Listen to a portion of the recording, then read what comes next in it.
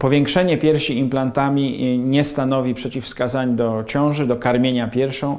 Mam e, grono pacjentek, które operowałem e, przed ich okresem e, prokreacji, następnie zaszły w ciążę, karmiły swoje dzieci, wykarmiły swoje dzieci i implanty założone szczególnie pod mięsień, czy techniką dual plane, gdzie górna część implantu jest pod mięśniem, a dolna część pod gruczołem.